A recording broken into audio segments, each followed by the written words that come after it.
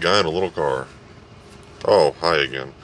It's not really a little car, I guess. It's like 22 feet long, but I, uh, just so everybody knows a little bit more about uh, me.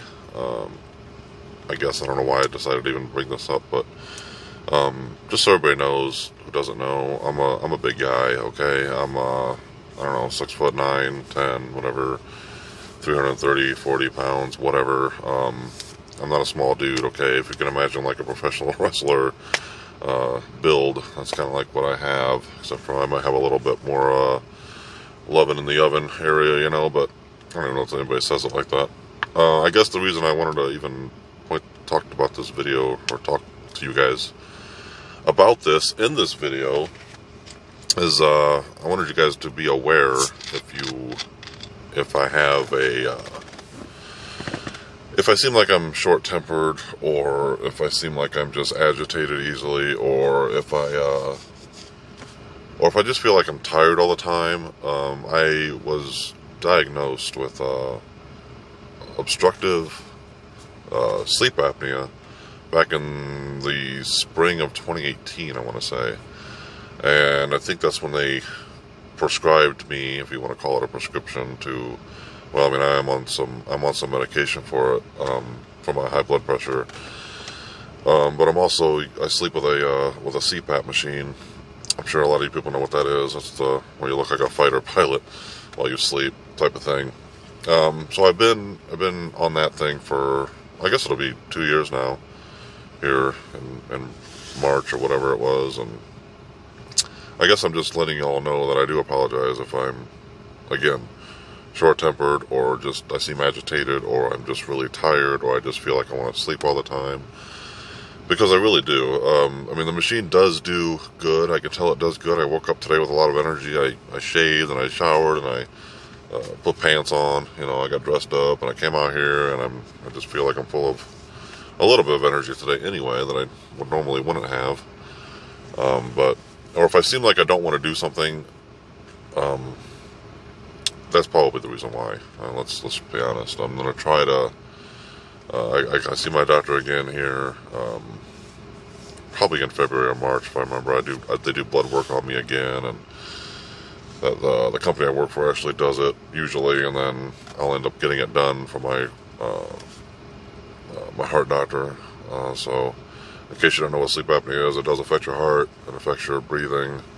Um, uh, feels like your blood pressure is always high uh, because the obstruct obstruction in sleep apnea is I'm just I stop breathing when I sleep, and uh, that's basically what it is. It's not something they could just. I mean, they could probably go into the back of my throat and clear some gunk out. I don't even know. Um, I do take a allergy medication to keep my sinuses and whatnot open, or uh, more open anyway. But uh, so what happens what is when you have this this you know disease, whatever you want to call it, you are you're, you're basically you're sleeping and you stop breathing and you start choking and you start and your heart starts racing, you know, and you don't really wake up usually. You're, you're usually just toss and turn, and then you start snoring incredibly loud. And so uh, I ended up getting a. Well, after I found out um,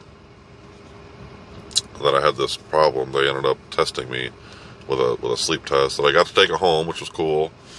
Uh, I think it was like a Friday to Saturday deals when I took the test, and I had to wrap everything back up and drive it out to the to the uh, sleep doctor again, and he's like, well, you know, we'll get your results and yada yada. And that's when they gave me the, uh, the machine.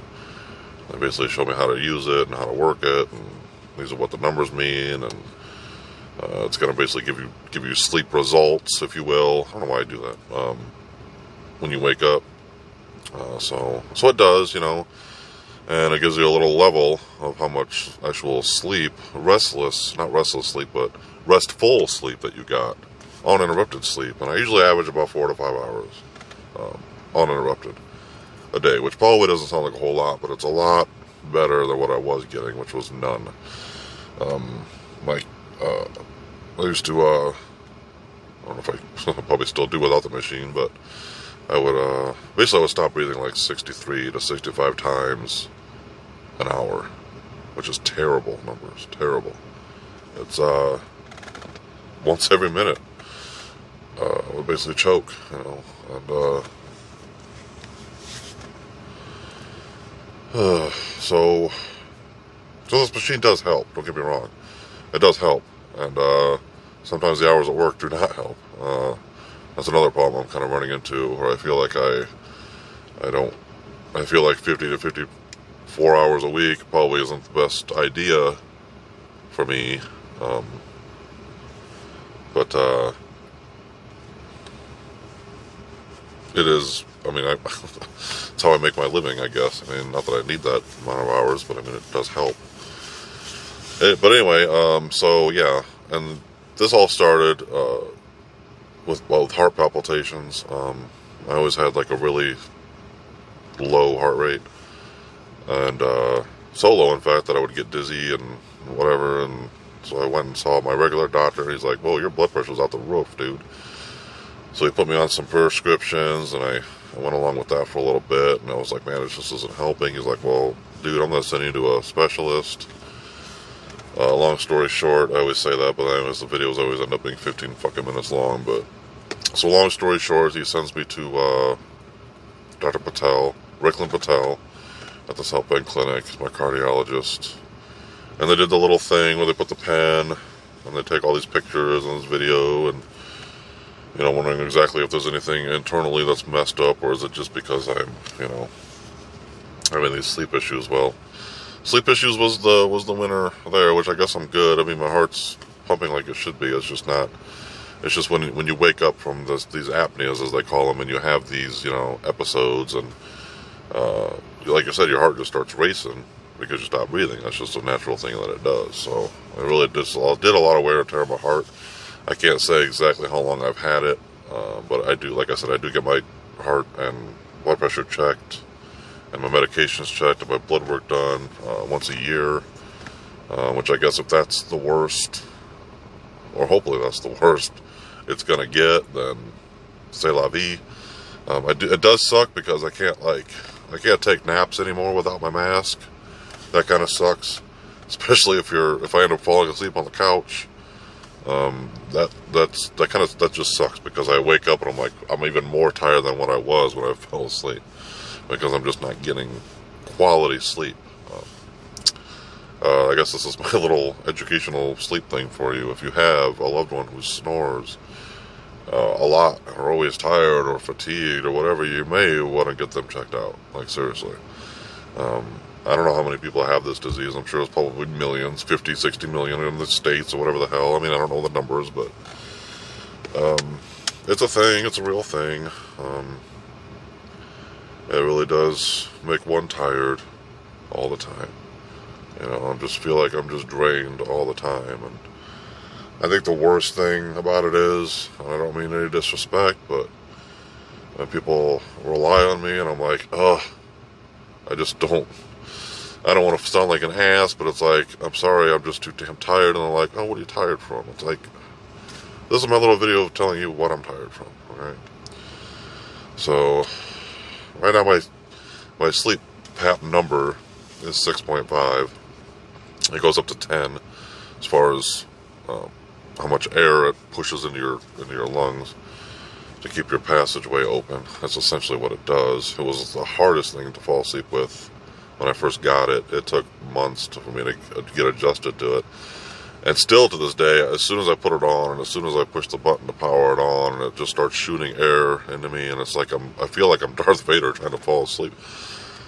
That still goes on, and, and I could just feel my chest like expanding and you know collapsing. I'm just like, oh, all right, and then it does that for about 30 seconds, 60 seconds, whatever, and then it finally settles down, and I'm like, oh. and weirdly enough, it's almost a relief to even have the mask on now you know, back in 2018 when I was starting the damn thing, I would have never said that. I fucking hated the thing.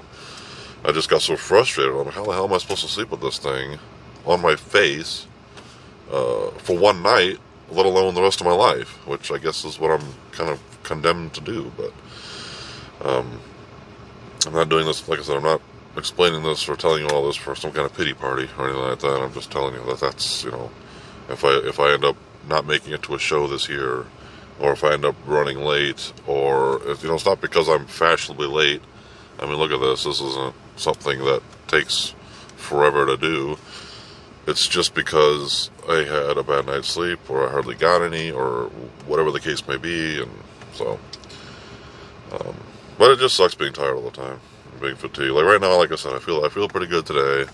I don't really have any other plans to do today. Uh, tomorrow, I'm probably going to be pretty lazy too, but uh, mainly because next week the schools and all the and the work, the, the job will get a little bit heavier next week because the schools will be back in session, and um, so I kind of feel like I should probably get my rest now while I can. Sorry, I don't know why that's funny. Never gets old. And then next Saturday we're going up to my to Candy's parents' house. Um,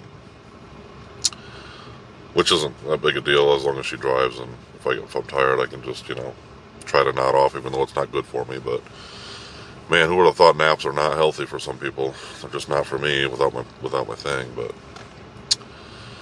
I guess that's uh, that's my health news. Whether you wanted to hear it or not, uh, that's what I live with every day. And, and I think the hard, like I said, the hardest thing is trying to tell somebody that no, I just sorry I can't, or or I'm like, can you you know, take a rain check, or can you do something else? It's like, or find somebody else, or whatever the case may be. It's just, it just sucks, you know. But, and a lot of people are like, well, maybe you should try changing your diet, maybe you'll get a better sleep. But it has really nothing to do with that. It's all just, you know, almost like congestion, or, you know, there's just obstructions. That's why it's obstructive. So, and I looked into getting another in another like sleep doctor's opinion, he was gonna do all this surgeries and knickknacks, and uh, he was gonna put something like a retainer that would keep my mouth from closing or opening up any farther, so it got the exact amount of air I needed to sleep, which sounded like a great idea, but it was also like a ten. I want to say a seven to ten thousand dollar procedure, which. Uh, my insurance did not cover any of it because he wasn't in the network. So I was like, you know what? Um, I was going to stick to my machine. Um, at least that's a network. It's paid for. Uh, worst case scenario, if I ever have to get up to those numbers where it's like not going to help me, well then they're going to have to give me a more powerful machine or a more ventilated mask or whatever the case may be. But uh, like I said, right now it works, and just like with anything, um, some days are better than others. So, so yeah, that's my uh, my little rant on on my health. I guess overall, I don't know. Otherwise, I feel pretty good usually. So, it's just a sleeping thing, man. Who would have thought? Get your eight hours of sleep, people. Get your ten hours of sleep. Whatever the hell is your body requires or your body needs, because we're all made differently. No, no two of us are the same, you know. So if so and so needs eight hours and so and so needs 12 hours, then that's what you plan for. That's just the way it is. Just like with dieting, people. I mean, not, you know, maybe I can, you know, maybe I can get away with eating a little more of this or a little more of that because it just doesn't affect my chemistry, you know. I don't know where I'm going with this conversation anymore. I need to just shut up and sign off. So I think that's what I'm going to do. But get your sleep, eat your Wheaties. Actually, don't eat your Wheaties. Stuff's gross. Eat your Cracklin' Oat Bran. That's a good cereal. That's underrated. Kind of like Waffle Crisp. Man, I forgot about Waffle Crisp. There's a cereal from back in the day. Jeez, ow. I need to peruse the cereal aisle, man. I buy milk, Lactaid, because, you know, my big ass can't handle that fucking lactose. But, uh, man, I to hit the cereal aisle again. I had some drumstick cereal. That was actually pretty good. Where am I going with this? I have no idea. Anyway, I'm signing off again. Uh, y'all have a good uh, 2020, I guess. Like I won't see you again, but have a good January, have a good day, have a good weekend, have a good evening, whatever the hell you want to call it, wherever you are in the world, whoever you're watching this at, all that good stuff. This is uh, this is me and a hearse again, signing off. Hearse rant again.